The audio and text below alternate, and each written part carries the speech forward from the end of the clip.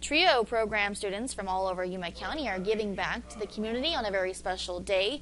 Arizona Western College is hosting the National TRIO Programs Day this Saturday from 9 a.m. to 2 p.m. at the Martin Luther King Jr. Community Center in Yuma.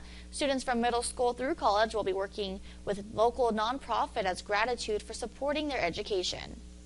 Our programs um, have been around to help students get through um, middle school, high school, and into college, and then ultimately graduate with their bachelor's degrees, and then on. If they want to go on to master's, doctorate degrees, uh, the TRIO programs help students do that.